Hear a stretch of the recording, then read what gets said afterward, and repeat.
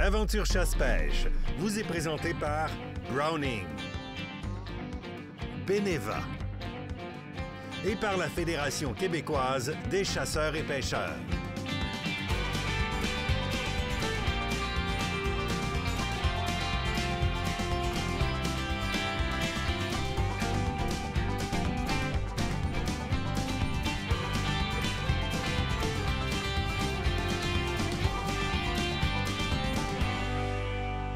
Hey, bienvenue en studio dans votre émission Aventure Chasse-Pêche. Comment ça va, toi? Ben, moi, ça va bien, toi? Ça va super bien. Cette semaine, on se dépayse un peu. Ah oui? Oui, ben, en fait, David se dépayse parce qu'il s'en va du côté de la baie James, Eh oui. le fameux festival de pêche au doré qu'il y a là-bas, qui est énorme. Ben, David est allé faire un petit peu le détective, le reporter, pour voir comment ça se passe là-bas. Après ça, Fondation de la Faune. Fondation de la Faune, on s'en va voir un aménagement de frayère, ce qui est quand même super intéressant. Phil des cotons nous parle de dindon. On regarde les appos, les appelants. Très intéressant parce que la saison, ça s'en vient là. là. Oui. Puis, tu m'as amené du stock, toi? Ben oui, écoute, je me suis dit, euh, saison de la sauvagine, il faut leur parler un petit peu. Browning a pensé à eux autres avec le Le nouveau camo. Oh, oui, c'est vrai. On l'avait présenté au Shot Show. Tu l'as amené? Ben oui, je l'ai Parfait. amené. Génial. On va aussi faire un petit résumé de quelque chose qui fait l'actualité depuis plusieurs semaines dans notre domaine. On La parle- C21? Exactement. Oui, on prend le temps. On prend le temps parce qu'on l'a fait beaucoup en ligne, mais on l'a Oui. pas fait dans l'émission. Donc, on va vraiment faire un, un petit topo là-dessus pour dire d'où on part puis où est-ce qu'on en est rendu. Euh, actualité, eh bien, moi, je vais vous reparler du concours parce que vous êtes beaucoup à participer. Évidemment, ce sont de très belles œuvres. Notre partenaire, Meubles et Signatures SGL, qui vous offre une œuvre murale par mois. Vous le voyez présentement, le roi des forêts, c'est l'orignal qui est à l'honneur ce mois-ci. Ça vaut quand même 800-900 piastres. Ah oui. Le concours, il est sur Facebook, sur ma page Facebook, Martin Bourget, pour cette fois-ci. Vous allez cliquer dessus. Vous aimez la page Meubles Signature SGL, c'est votre spécialiste du meuble sur mesure et de l'œuvre murale sur mesure. 100% québécois, ça en vaut la peine. Vois, ma page, t'es inscrit au concours. J'arrête là. là. C'est pas vaut si peine. compliqué, quand Ça vaut même. vraiment la peine. Créateur de contenu, Oui, on a, on a quand même des belles éditions. On a du beau monde qui participe. Il y a du stock en tabarouette. Si vous n'avez pas vu encore la section créateur de contenu, rendez-vous sur la page Aventure Chasse-Pêche, donc sur la plateforme web. Allez dans section. Vous allez voir dans section tous les créateurs de contenu qui sont là. Ce sont des, des gens qui créent soit du web, soit des lives, des vidéos, des blogs, de la photo qu'on a répertorié là-dedans pour vous montrer ce contenu-là. Très, très, très intéressant. Oui, Sinon, le abonnement. magazine? Ben Oui. oui. abonnement, magazine. Donc, c'est le temps de vous abonner au magazine. Euh, donc, euh, le nouveau magazine qui s'en vient sous peu, là, il va sortir. Vous allez le recevoir très, très bientôt. Donc, euh, le magazine Aventure Chasse-Pêche qui est pour son édition été. Donc, du contenu enlevant vraiment beaucoup, beaucoup de contenu dans celui-là. On a travaillé fort. On a des nouveaux collaborateurs aussi. Donc, c'est le temps d'aller voir section jeunesse qui s'agrandit aussi dans ce magazine-là et au fil des magazines durant l'année. Donc, très belle lecture à faire. Même chose, abonnez-vous du côté de l'infolette, hein, Oui. parce que si vous voulez absolument rien manquer, c'est Infolette et One Signal. Donc, sur le site web d'Aventure Chasse-Pêche, vous allez recevoir l'ensemble des notifications de ce qui se passe sur la plateforme Aventure qui bouge tout le temps. Tu as tellement raison. Ma sélection Euno de la semaine. Écoute, je voulais quelque chose qui est universel, Oui. qui passe avec toute la visite, qui est abordable, puis que tu peux boire avec qu'est-ce qu'il y a de plus commun, mais qui, sans prétention, peut accoter des grandes cuissons de venaison sans aucun problème. On est Château Pesquier, terrasse rouge, Ventoux. On est au pied du mont Ventoux. On est euh, euh, au sud-est de la vallée du Rhône. On est comme entre deux climats. On est entre les Alpes puis la partie méditerranéenne. méditerranéenne excusez-moi. Château Pesquier, c'est un domaine qui produit, ça fait 50 ans, trois générations, la famille Chaudière qui produit ces vins-là euh, d'appellation Ventoux dans cette région-là. En étant entre les deux régions, eh bien, ont une espèce de microclimat qui les distingue énormément. Hein? Le, le Rhône, la vallée du Rhône, on a des vins qui sont excessivement testostérone. Quand on s'éloigne, on a des vins qui sont, euh, qui sont beaucoup plus, euh, qui sont beaucoup plus larges. On va dire qui sont beaucoup plus euh, mo- moins rentre dedans. On Oui. va le dire comme ça Oui. là, pour que tout le monde le comprenne bien. passe-partout un peu. Exactement. Il y a de la substance quand même, mais plus passe-partout. Là, on est entre les deux. On a une fraîcheur, d'un- on a la fraîcheur d'un climat, on a l'ensoleillement de l'autre climat, on a quelque chose qui est particulier et qui démarque complètement ce vin-là, qui est excessivement abordable. En bouche, ça ressemble à quoi? D'abord, c'est Grenache et Syrah. C'est un vin biologique, En plus. donc très intéressant. Robe, c'est rubis. là. Tu prends ça, là, couleur rubis, hallucinant. Fruits frais, épices, du poivre, mais les fruits frais vont venir vraiment. Souvent, on, on va prendre un vin, puis tu as vraiment le- le goût de fruits confits. là. Oui. La, de la camerise confise, du- de la cerise confite. Là, c'est le fruit frais qu'on va retrouver ici. Euh, en bouche, bien équilibré, belle rondeur, les tanins sont présents juste assez.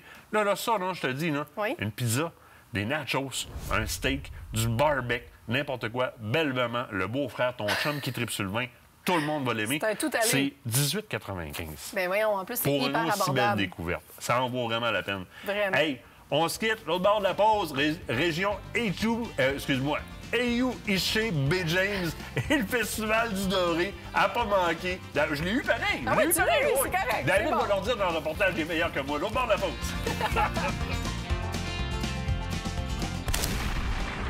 Cette partie d'émission vous a été présentée par Browning.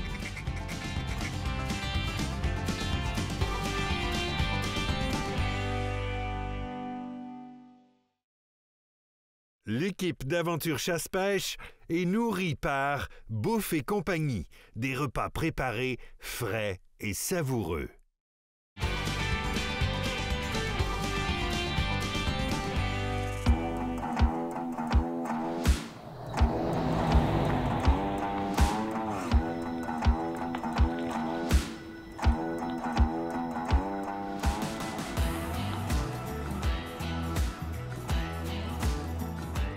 Je me trouve présentement avec Joanny Cliento, chargée de projet marketing au niveau de la baie James. Bonjour. Bonjour. Joannick, c'est super beau ici. Moi, la première chose qui, qui m'a surpris, c'est de voir la beauté du paysage. Mais la région de la baie James est très, très reconnue pour sa pêche, dont le gros, le gros, gros tournoi là, de pêche au doré pour lequel on est ici présentement. Mais il n'y a pas juste de la pêche là, ici à la baie James. Est-ce que tu pourrais m'en parler un petit peu plus, s'il te plaît? Ben oui, ça va me faire plaisir de, de- de te présenter notre région. En fait, notre région, on la nomme Iwichiti Bay James. Donc, euh, qui veut dire terre du peuple, qui est de la- le côté cri de, de la région. Donc, euh, c'est un territoire de 350 000 km. Donc, c'est immense. Euh, on est à Chapet présentement, au sud de la région, mais le territoire va se rendre jusqu'au nord, vers Radisson, Chisasibi, qui est le, donc, 350 000 km, c'est la grosseur de l'Allemagne, juste pour faire une comparaison. Fait a un magnifique territoire. Pour nous, là, c'est... on aime mettre en valeur toute notre nature, la beauté. On a plein de richesses euh, naturelles, des paysages. Moi, je suis émerveillée de voir la forêt, tout le territoire, puis la grandeur. On se sent seul au monde, on se sent, on se sent libre, on sent la liberté quand on arrive chez nous. Donc, il y a la pêche, mais il y a toute cette beauté du territoire-là. Puis oui, il y a la beauté du territoire, mais moi, ce que j'ai remarqué aussi, c'est euh, l'accueil chaleureux des gens. On est arrivé, on vient tout juste même d'arriver, puis déjà, les gens viennent nous voir, les gens sont contents de nous rencontrer. Puis euh, je pense qu'on va vraiment passer un bon moment ensemble. Demain, on commence avec un volet amateur pour la pêche. Puis j'ai bien hâte de voir comment que ça va se passer. là. Donc, euh, je te remercie. Puis on va sûrement peut-être avoir la chance de, de pouvoir se reparler au courant de la fin de semaine. Merci à vous, puis bienvenue. Merci beaucoup. Ce matin, je suis à Chapet, au Festival du Doré de la baie James. Je suis ici pour couvrir le forfait amateur du tournoi de pêche. Je suis juste à l'ouverture. Le lancement n'a pas été encore fait. On peut voir derrière moi les gens qui attendent pour s'inscrire. Les gens sont fébriles, mais on sent que l'ambiance est familiale, l'ambiance est le fun, les gens ont hâte d'aller à la pêche. Alors ici, moi, je vais vous donner des images du bord. On va avoir des images aussi directement dans un bateau en action avec des personnes qui, pêchent dans le tournoi. Donc, suivez-nous toute la journée. On va avoir des images incroyables à vous montrer.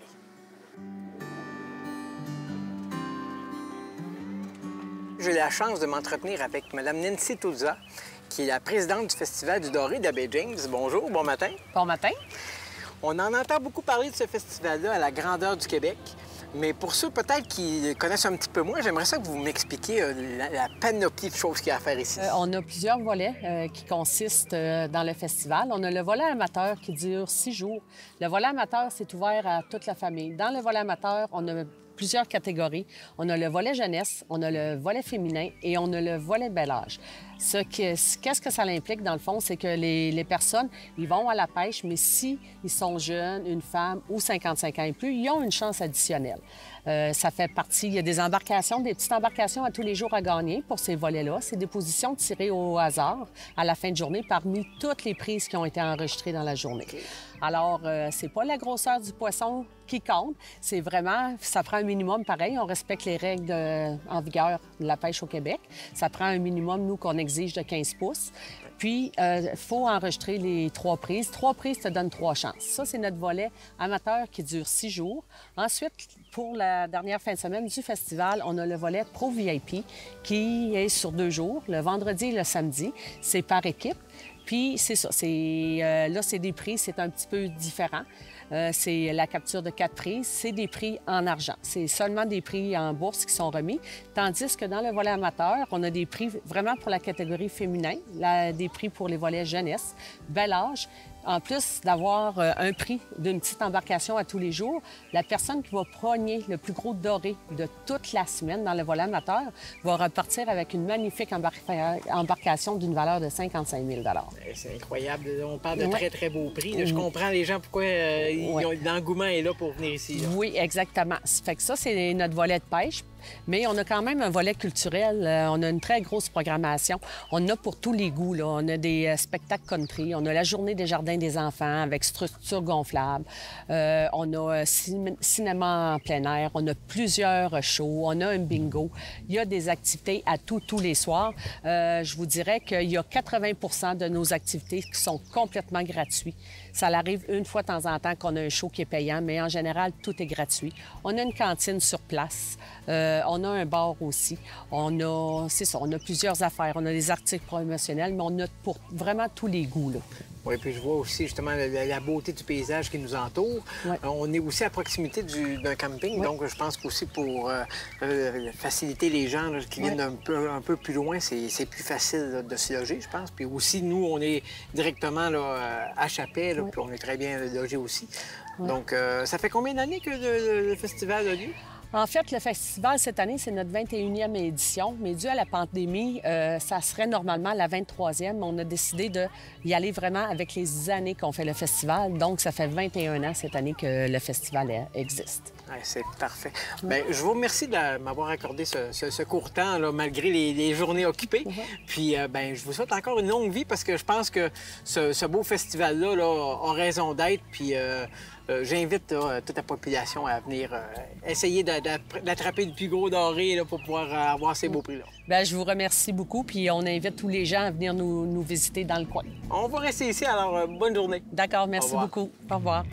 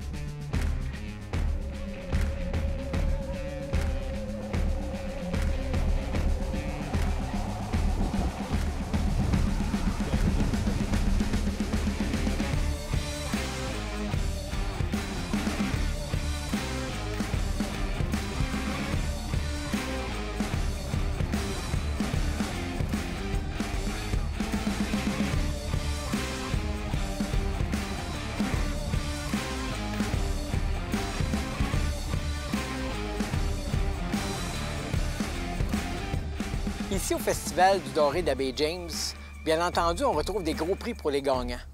Mais on mise surtout sur l'accent participation de l'événement.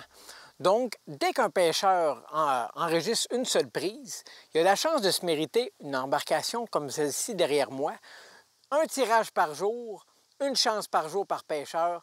Donc, je pense que ça vaut la peine de venir faire un tour et de s'essayer au niveau du tournoi. Cette partie d'émission vous est présentée par le groupe Thomas Marine. le plus grand inventaire d'embarcations Princecraft au Québec.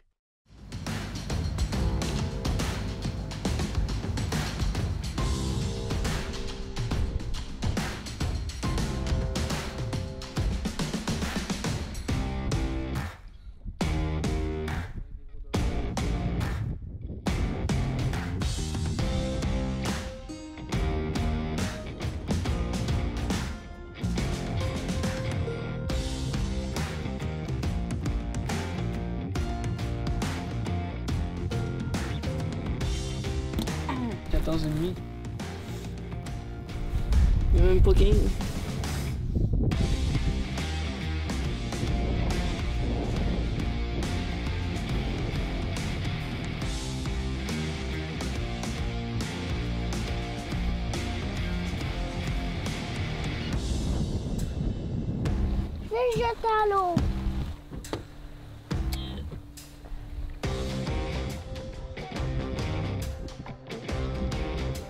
Tu me demandes ça, Mason, comment tu relances ça à l'eau, un poisson, toi?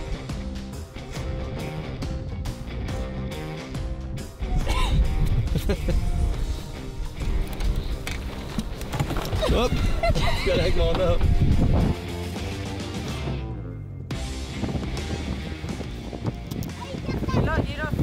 Hey, c'est un doré, c'est un doré.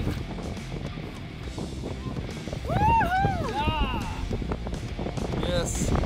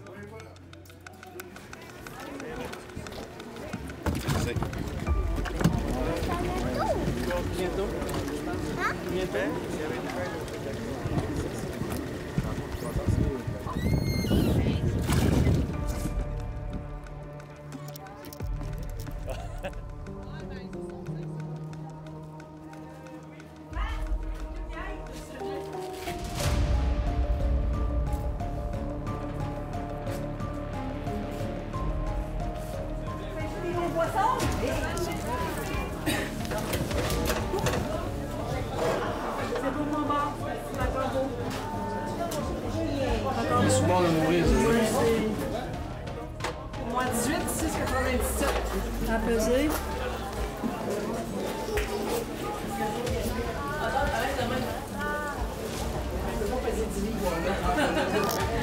Deux point vingt et un Moi, il a sorti mon coup,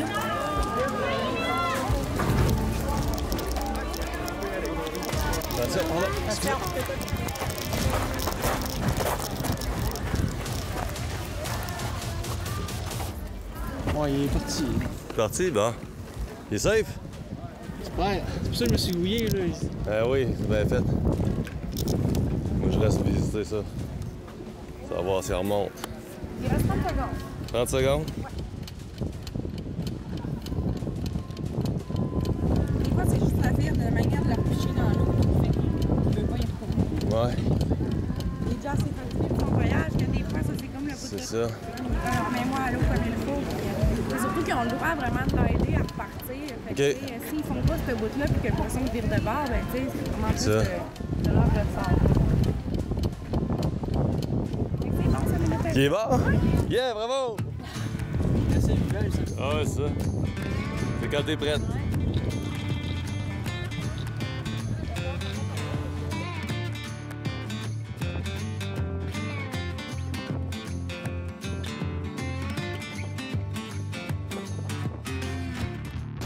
Nous en sommes rendus à notre dernière journée de couverture du tournoi de pêche du Festival du Doré de la baie James et laissez-moi vous dire que c'est totalement différent ce matin.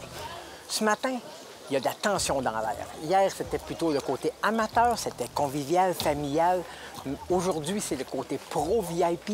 Les pêcheurs veulent gagner, les pêcheurs veulent la première place, ils sont prêts. Suivez-nous, on s'en va directement sur la plateforme pour prendre les départs des pêcheurs. Surplus du Nord, Team Abitibi Angler. Le premier va être ici au bord. La première équipe, la chaumière. La deuxième, en dedans des bouées. La troisième, l'autre bord. Puis la quatrième, l'autre bord. Aussitôt que la première va être partie ici, ça va être l'équipe 5 qui va falloir qu'ils se viennent se mettre ici. 5, 4, 3, 2, 1. L'équipe 5.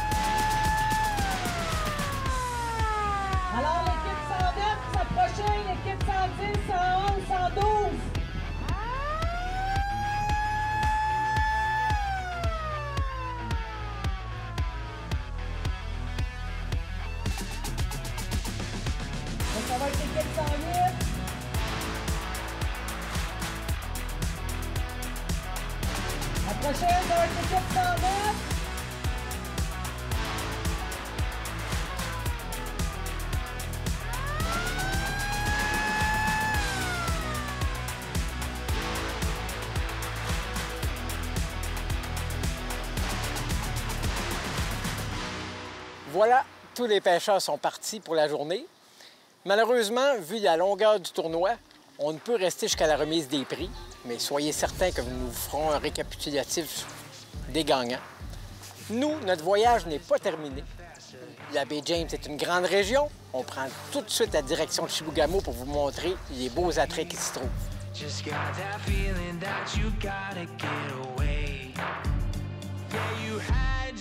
Time, but now I'm gonna get what's mine. There's nowhere left on earth for you to hide.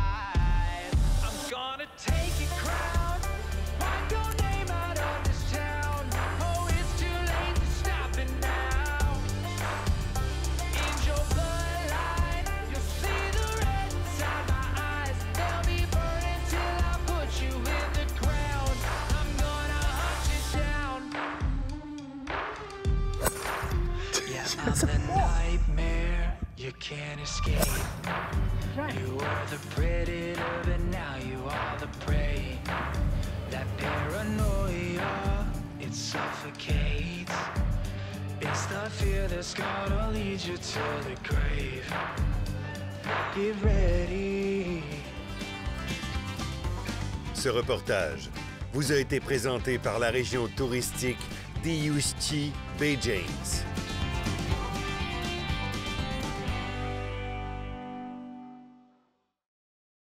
Découvrez l'élégance des vins libanais Masaya, situés dans la vallée de la Beka. Notre riche et unique terroir offre des vins puissants aux arômes complexes, parfait pour accompagner viande grillée et gibier. Tombez sous le charme des vins Masaya, le Colombier et Terrasse de Balbec, disponibles à la SAQ.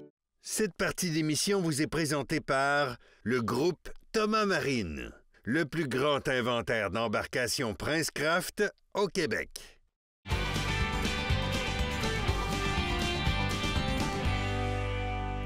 Et moi, là, je suis comme toute énervée. Là. Il y a du camouflage partout. Puis en plus, c'est le nouveau camo de Browning.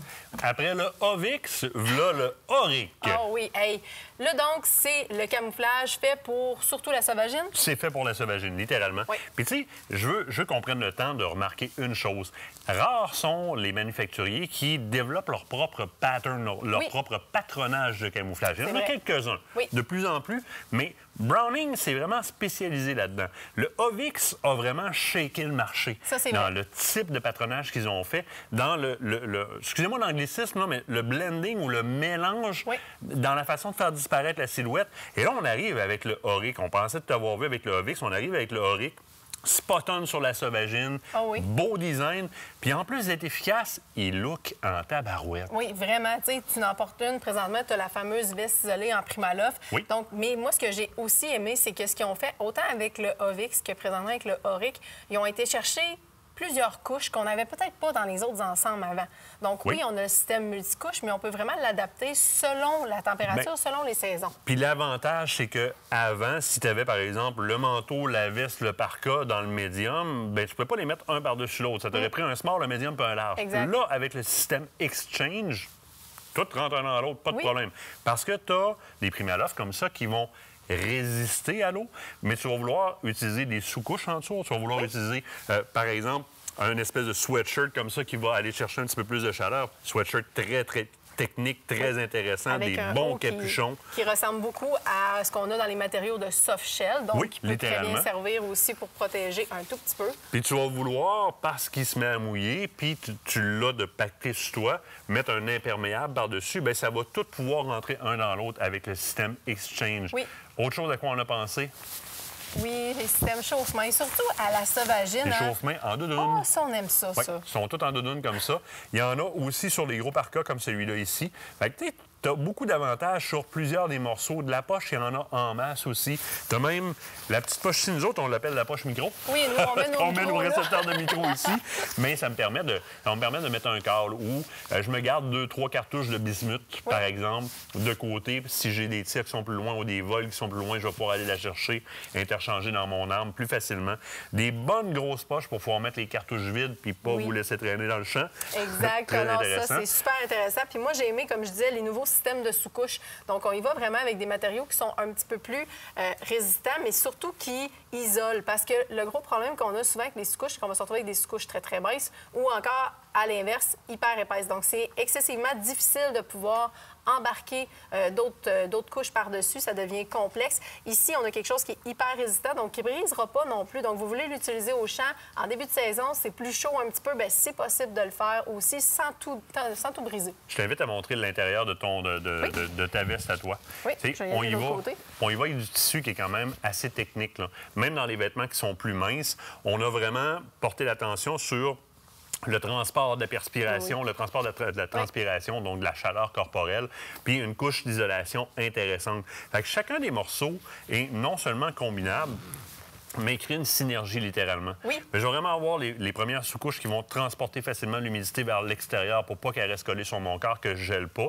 Parce qu'à la sauvagine, euh, si tu peux marcher un bon bout, mettre Oui. bien des aplats, avoir chaud, là, tu rentres dans la cache, là, tu gèles. Oui. L'autre point, moi, qui m'intéresse énormément, puis qui est une évolution chez Browning majeure, si on part des vieux 3 dans 1 dans le temps, le fit. Oui, Le ça a changé, la coupe a changé. Puis souvent, les, les femmes ont de la misère à aller s'habiller dans certains types d'habits de chasse. Maintenant, ici, et pour l'avoir testé, on prend un small, exemple, pour moi, et il va très bien me faire parce qu'on est dans une coupe qui est plus Hero Fit. Exactement. Mais à cause du système Exchange, tu es Oui. capable de reproduire ce que tu avais comme 3 dans 1 en les mettant les uns par-dessus les autres. Puis même ton imperméable va faire le quatre dans un par-dessus, puis ça va fitter. Hey, c'est déjà... On est déjà rendu là? Ah non, Oui, déjà? Auric de Browning, allez voir ça, ça en vaut la peine. Il y a toute une gamme, il y a des armes aussi qui ont le camo dessus, donc très, très intéressant. Oui. L'autre côté de la pause, on s'en va faire un aménagement avec la Fondation de la Faune pour les traverses de VHR pour les frayères, justement. Donc, on s'en va voir ça. Yes!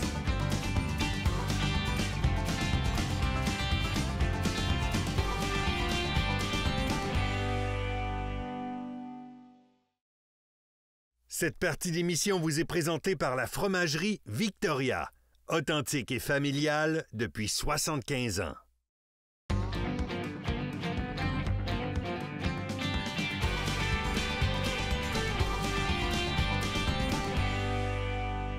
Quand on parle de protection de la faune et de son habitat, on ne peut faire autrement que de penser à la Fondation de faune qui s'implique dans une multitude de projets, et ce, à la grandeur de la province. Mais on oublie souvent qu'il y a une, une bonne corrélation entre les humains et la faune. Et pour en parler, j'ai avec moi Alexandre. Bonjour, Alexandre. Bonjour. Alexandre, on se trouve ici dans la ZEC Martin-Valin. Puis il y a des actions concrètes qui ont été posées au niveau des cours d'eau versus les utilisateurs des chemins. J'aimerais ça que tu m'en parles un peu plus, s'il te plaît. Oui, tout à fait. Donc ici, euh, dans le cadre du programme pour les véhicules en route, le volet protection de la faune, le regroupement des, des aigles du Saguenay-Lac-Saint-Jean ont parcouru le territoire. Euh, ils ont identifié des secteurs le long des sentiers de motoneige et, V- et, euh, VTT où il y avait un potentiel pour une problématique faunique. Donc, l'exemple classique, c'est une traverse de cours d'eau. Euh, ici, le chemin traverse, il y a un ponceau, et ils ont, ils ont vérifié l'état des ponceaux et aussi les enjeux potentiels avec la faune. Donc, par exemple, la sédimentation, que ici, le, le sable, le gravier tombe dans le ruisseau et pourrait affecter négativement l'habitat faunique. Donc, euh, les, les- les- les frayères en tant que telles. Exactement. Après ça, ils ont fait des recommandations, ils ont donné ça au gestionnaire de ZEC. Et par la suite, on a financé un deuxième projet pour rectifier la situation. Donc, amener les, les correctifs euh, proposés dans le rapport pour remettre en état les sentiers ainsi que l'habitat faunique. Puis tu peux me dire, Alexandre, quels organismes qui sont euh, éligibles, si je peux dire, là, à de telles subventions? Ouais. En fait, tous les organismes sont éligibles. Puis même qu'on voit que les, les projets qui ont le meilleur succès, c'est quand il y a un partenariat. Donc, quand il y a, par exemple, un club euh, de, de quad ou de motoneige qui travaille en partenariat avec euh, un organisme comme un organisme de bassin versant, euh, des regroupements de ZEC, etc., qu'on a le côté environnemental et le côté club qui travaillent ensemble, c'est là que le succès est le meilleur. Oui, je comprends. Bien, écoute, je sais qu'ici, il y a des beaux aménagements déjà de fait. Oui. Donc, si tu permets, je perds pas plus de temps, puis on se dirige directement sur le terrain pour pouvoir aller voir ces aménagements-là. Excellent. Merci.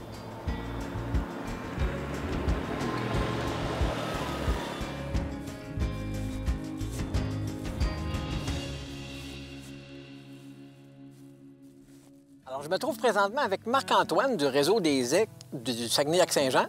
Bonjour Marc-Antoine. Bonjour David, ça va bien? Très bien, merci. Toi? Super. Écoute, je suis super content d'être ici avec toi parce que là, on touche un sujet qui me passionne beaucoup, les poissons. Ouais. On est dans la ZEC Martin-Valin, on est sur le bord d'une belle rivière.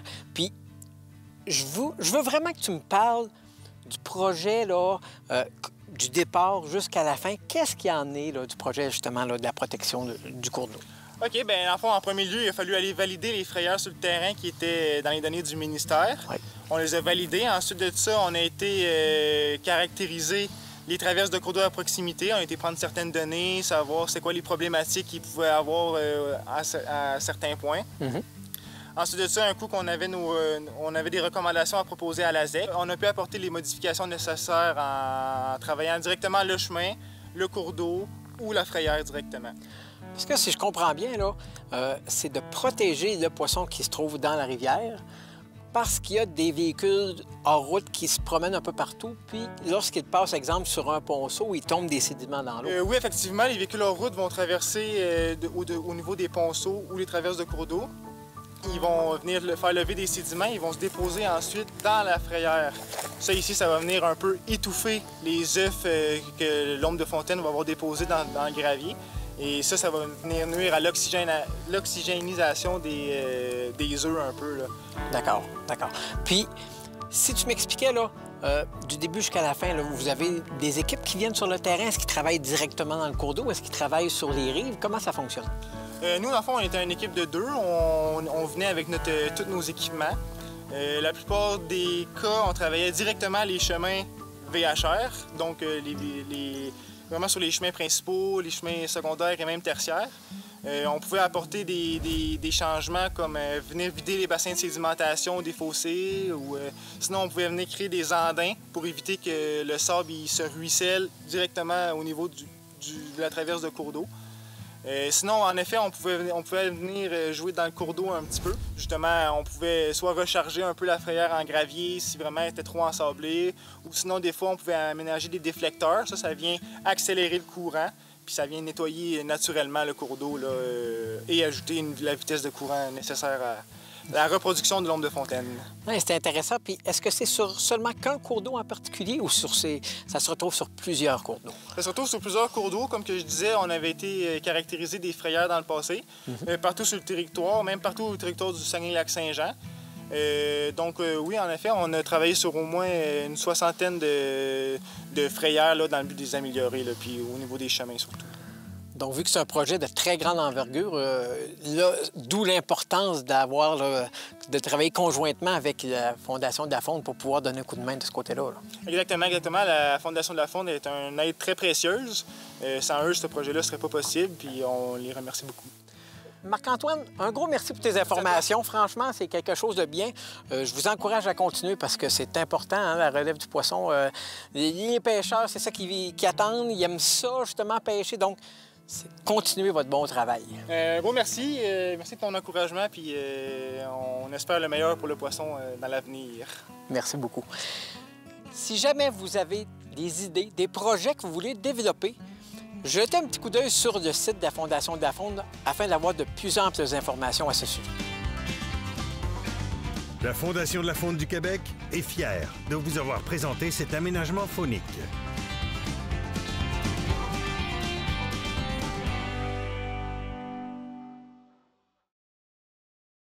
Écotone est fier de vous présenter cette partie d'émission.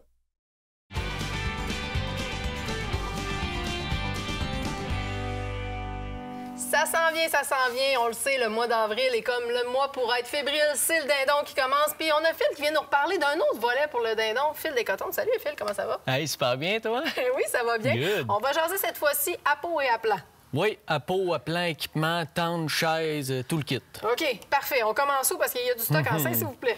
fait que, on commence-tu avec la tente, peut-être? Ben oui, on peut y aller avec la Double Bull de Primos. En fait, ce que je t'ai amené, c'est vraiment une petite merveille. C'est vraiment un contour. OK. Donc, tu sais, t'es capa- ce que j'aime de ça, c'est que tu es capable de te déplacer parce que le dindon, là, tu le sais, là, Oui. on va se dire, ça va arriver de là, puis finalement, tu te fais avoir, ça, ça change de bord euh, assez vite.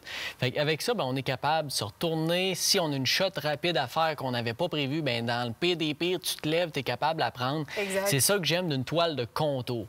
La Double Bull, en plus, c'est que le matériel est vraiment beaucoup plus résistant OK. comparativement à d'autres contours. Euh, puis, euh, petit hit en plus, on voit au travers de la toile. Ça, c'est le fun, c'est Mm, très mm, appréciable mm, de pouvoir rester caché tout en voyant au travers. Ce qui dit dindon dit aussi des fois de longues heures assis. C'est Oui. important d'avoir une bonne chaise pour Une s'asseoir. bonne chaise. Euh, encore avec Primose, euh, j'amène une chaise qui est très, très, très confortable. On est capable de passer notre avant-midi de chasse tout en étant confortable. Une chaise qui est assez large, donc on va être vraiment confortable, bas, puis en plus, super résistante. là. Ça fait quelques années que j'en vends en boutique, là, puis c'est vraiment, vraiment très aimé. Bon, ça y est, Mhm, tu viens de me mhm. créer des nouveaux besoins. Ça le prend, je te le dis. Au niveau de la position de tir, c'est important aussi d'avoir une Oui. bonne canne de tir. Oui.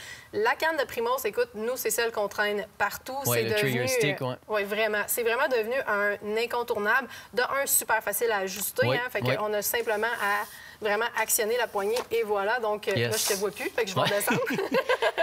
donc, vraiment facile euh, d'utilisation. Ça peut aussi, donc, vous avez les différentes attaches pour pouvoir y placer autre chose, vos Mhm. accessoires, caméra, GoPro, Oui, on est capable de dévisser la tête. Donc, quelqu'un qui veut avoir une caméra à côté de lui, dévisse la tête, on, a- on attache la caméra dessus, le tour est joué. Mais ce qui est très important, tu le sais, le dindon, il faut vraiment être préparé Ah avant qu'il arrive. Donc là, on appuie l'arme sur ça le matin quand on arrive. Puis après ça, le tour est joué, on est capable de passer l'avant-midi de chasse. L'arme est à côté là, ça bouge pas. Fait que le- on vient s'éviter que le dindon nous voit par un mauvais mouvement ou quoi que ce soit. Mais il y a autre chose qu'il ne faut pas oublier, Oui. c'est d'être camouflé. Oui. Donc, on pense ici habits de chasse, Yes. plusieurs habits de chasse disponibles Il y du a côté de coton. énormément de vêtements de chasse qui sont sur la coche pour faire le dindon. Ici, je t'ai amené le Dynamo parce, de par sa versatilité.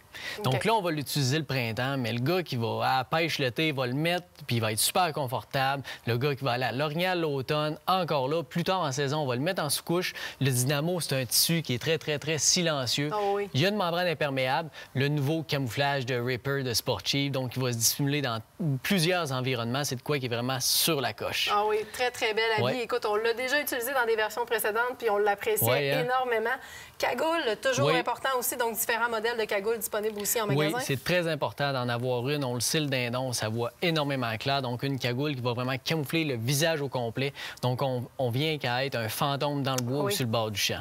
Vraiment, ça, c'est super important. Mhm. Puis ça va faire une grosse différence hein, parce qu'on le sait, c'est un animal qui a toute qu'une vision. Donc, c'est Oh important oui. d'être bien caché. Yes. Ensuite de ça, là, si on y va avec ce qui est appelant comme tel, Mhm, il y en mhm. existe plusieurs sur le marché. Il tu en nous en as quelques-uns. énormément. Je t'ai amené, en fait, là, on va dire deux kits. Euh, J'ai dans Primos le, le trio. Puis je dis bien le trio, c'est Lil euh, Gobstopper. Donc, on a un mâle puis deux femelles. Une femelle qui ici, la deuxième est dans la boîte avec le mâle. Euh, ce combo-là, c'est un combo parfait. Donc, un mâle, deux femelles, on est capable de s'organiser avec ça. On va être capable de faire différentes approches, les positionner différemment d'un matin à l'autre. Donc, on va être capable de déjouer euh, le dindon euh, au moment de l'approche. Donc, on a vraiment Mhm. une belle qualité Oui. ici au niveau de cet appelant-là. Mhm. C'est super le fun. Puis, ce qui est le fun, comme tu as dit, c'est qu'on n'a pas besoin d'en avoir beaucoup dindons. Les Non. gens pensent que, bon, c'est pas comme un setup à loi ou Non, quoi que non, ce soit. C'est vraiment pas. la même chose. On a Mhm. besoin simplement de quelques appelants pour faire le travail. Il existe aussi dans la compagnie Flexstone. Oui, dans Flexstone. Euh, ben encore là, je amené une option. Oui. Si on veut monter un petit peu en prix. Donc, je dis pas qu'on va récolter plus de dindons, mais si on monte un petit peu en prix, on a toujours une meilleure qualité, meilleure finition. Tu sais, le détail, on le voit, on le voit tout de suite. Le détail est vraiment beaucoup plus beau sur euh, le, le Thunder, euh, Thunder Chick par la peinture, par le matériel qui va être un petit peu plus caoutchouté. Donc, quelqu'un qui veut investir plus, ben c'est une très belle option à avoir. Ils font des mâles, des Jake, des Tom. Là, écoute, c'est la panoplie au complet. Mais c'est une très belle option à envisager pour quelqu'un qui veut mettre un petit peu plus d'argent euh, pour ses aplats. Oh oui, puis des fois, il y en a qui viennent à investir beaucoup. Excuse-moi, j'ai une dinde en fait, Ouais. elle veut pas se tenir. Elle bouge, elle bouge. bouge, elle bouge, elle fait exprès. La saison s'en vient, elle est énervée, elle aussi.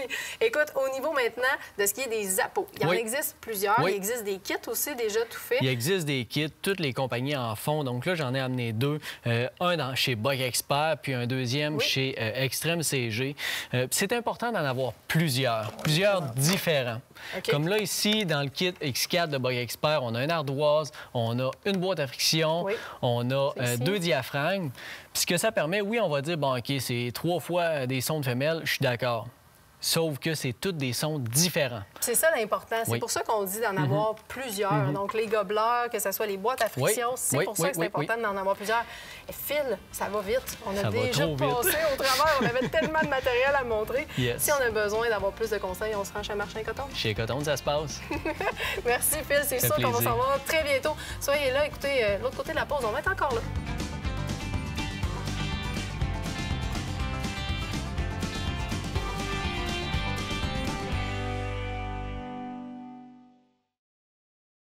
Cette partie d'émission vous est présentée par le groupe Thomas Marine, le plus grand inventaire d'embarcations Princecraft au Québec.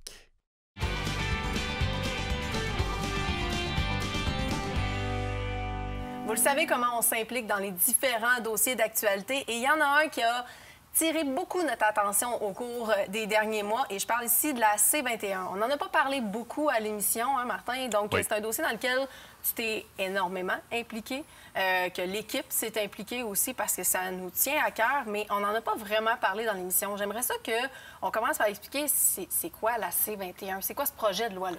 On va essayer de le- le vulgariser le plus possible. La C21, au départ, en toute noblesse, c'est un projet qui est mis en place par un gouvernement et qui vise la réduction de la criminalité reliée aux armes à feu au Canada. Oui. On ne peut pas l'expliquer plus simplement que ça. Non. Ça, c'est l'intention initiale dans laquelle c'est déposé. Euh, Puis jusque-là, tout le monde embrasse, tout le monde applaudit. Ben oui. Toutes les, les- les- les- les- les- autant les propriétaires légitimes d'armes à feu qui contrôlent déjà, qui appliquent déjà des moyens de contrôle, donc qui sont pour le contrôle des armes à feu, logique, embrassent cette idée-là. Là où est-ce que ça a commencé à virer un peu au vinaigre, c'est quand on a apporté des solutions. Parce que déjà, dans ce qu'on va appeler la première phase de C-21, on a tout de suite attaqué des armes, non pas par leur, euh, le- le- le- leur aspect qui les relie à la criminalité euh, relati- relative aux armes à feu dans les rues du Canada, mais par leur esthétisme leur représentation, leur présence sur des fâcheux événements du passé, le look de type militaire. Donc, on a, dès le départ, là, ce dossier-là a été un peu, on pourrait dire, échappé. Serait-tu un bon mot? Ben, je pense que je pense que oui. Dans le sens qu'au lieu d'aller vers des critères fonctionnels, on est allé vers des critères esthétiques et populaires dans la sélection de ce qu'on a mis. En bref, on pourrait presque dire qu'on a, on a choisi ce qui faisait peur au lieu de choisir ce qui fait mal. Oui. OK? On Oui, va dire ça comme ça. être une bonne façon de dire, oui. Dans la première phase de C21, on a ciblé deux grands points. Dans un premier temps, on est allé chercher donc des armes qui ont été dans les tragédies du passé euh, et on a ciblé entre autres l'AR-15 et ses variants. Puis dans ces variants, probablement par manque de connaissances, on a ciblé des critères esthétiques puis ça l'a amené à capturer des armes qui n'avaient aucun lien avec l'arme initiale qu'on rendait prohibée, comme par exemple la Deria MK12, qui est l'AR-15, c'est une carabine de calibre 5,56 NATO, donc une 2,23. Le Deria MK12, c'est un fusil de calibre 12 avec une- un pistol grip puis une crosse ajustable, tu sais, un, un fusil ergonomique. Exactement. Bon. À la suite de ça, on a reçu les, ce qu'on appelle les comités experts, hein, parce qu'on va consulter des experts externes. Et ces experts-là, ils sont médecins légistes, ils sont policiers, ils sont aussi représentants des tragédies du passé, ils sont lobbyistes des deux côtés. On reçoit donc des gens qui ont vécu des choses et qui rapportent ce qui s'est passé. Et on reçoit des forces de l'ordre, des forces d'intervention, des chefs de police qui nous racontent quelles sont ces armes qui se ramassent à produire ce que ces victimes du passé-là ont vécu comme tragédie? Et on identifie très clairement des armes importées illégalement des États-Unis ou criminalisées qui se retrouvent dans 99,1% des cas présents ou encore utilisés sur ces soit homicides ou méfaits-là. On identifie rapidement que la présence d'armes détenues par des propriétaires légitimes d'armes à feu, et là je dis présence, Oui. c'est à l'ordre de 0,47 sur les méfaits. Et quand on dit euh, présence, on interroge les policiers. On dit, bon, par exemple, un policier qui se présente sur une WC, une, vi- une- une- une Une violence violence conjugale, et qui, dans son constat, euh, fait une perquisition de la maison et il y a des armes longues dans un coffre dans la cave, eh bien, elles sont inscrites comme étant présentes. Donc, on comprend rapidement par tous ces spécialistes-là qui sont sur le terrain et qui, et qui interviennent auprès, euh, auprès des malfrats et des méfaits, là, on comprend très bien que la partie qui est détenue par les propriétaires légitimes d'armes à feu, collectionneurs, tireurs sportifs et chasseurs, est presque inexistante dans le problème qu'on cible, la criminalité. Elle provient des gangs criminalisés, elle provient de l'autre bord de la frontière et on identifie rapidement le besoin d'avoir des meilleurs scanners aux frontières, Ben plus oui. d'effectifs sur le terrain, des opérations comme Centaure qui sortent de la criminalité armée de sur le terrain, des forces d'intervention, de la prévention au niveau, des maladies, au niveau de la détresse euh, psychologique ou des Psychologique. maladies mentales, d'injecter des moyens là-dedans. Et rapidement, on arrive avec une proposition d'amendement, les amendements G4 et G46, qui sont, et ça c'est du, jamais vu ou presque pas, presque aussi gros que la loi initiale. Un amendement, ça vient Oui, oui. corriger des choses qu'on a oubliées dans un projet de loi. C'était assez particulier, ça. Ben, là, on vient corriger avec quelque chose qui est presque aussi gros que le projet de loi proprement dit.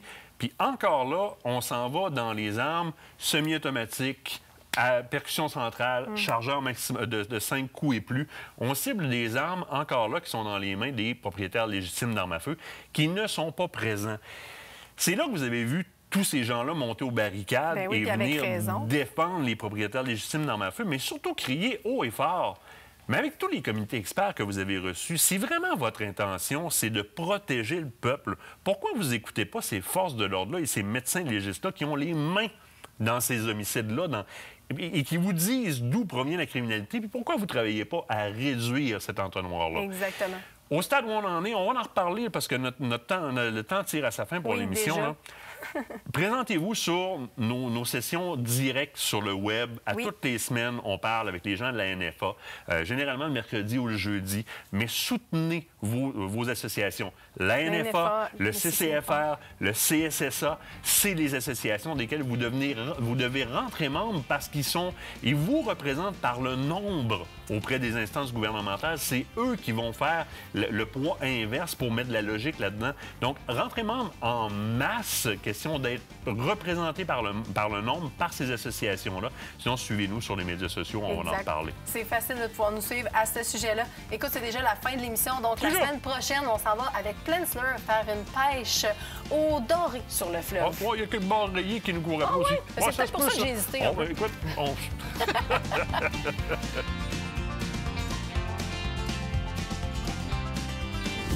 Aventure chasse-pêche vous a été présenté par Browning, Beneva et par la Fédération québécoise des chasseurs et pêcheurs.